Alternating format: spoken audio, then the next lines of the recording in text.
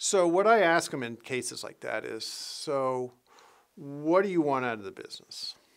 What's your goals? What are your dreams? And eh, how is the business doing relative to that? Is the business, if you're on the trajectory that you need to be at to get to, to your dream, well, maybe you can continue going on your own. But inevitably, what I see are business owners where the business is kind of leveled off. Their expertise gets them to a certain point, and then they, they don't know because they're working in the business. To get it to the next level, they got to start focusing more on the business rather than in it. And that's a concept that's not natural to most business owners.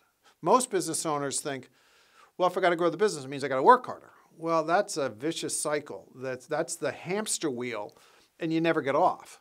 And so my role is to say, no, no, there's a different way, a smarter way. You know, it's working smarter. You, you got to take some time out of the business so you can get focused on the strategies.